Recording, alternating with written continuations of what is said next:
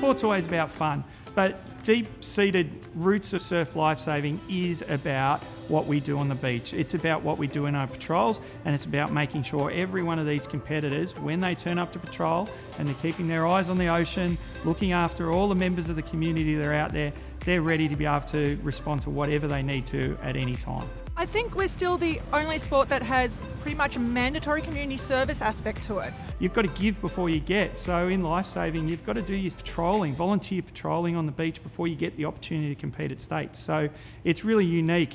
So you'll have your people that will do their community service, their patrols because they want to compete. And then you have the people that when they sort of want to move away from competition, they'll still be heavily involved in the community and that giving back spirit. Across the year, we get about 15,000 entries. The sporting events that we do, it's all about the athlete. However, we can't run these successfully without the input from the volunteers that are, you know, officials, that are water safety, that, you know, behind the scenes doing the first aid. As the coordinator, it's not just the provision of first aid, it's the coordinated approach that we do and ongoing welfare of competitors and officials and everyone else on the beach. So for me as a competitor, the people behind the scenes basically means that the sport exists. It's run by the book, but in the interest of both competitors and the officials. And they're all disciplines that go towards making our lifesavers better and rescue ready.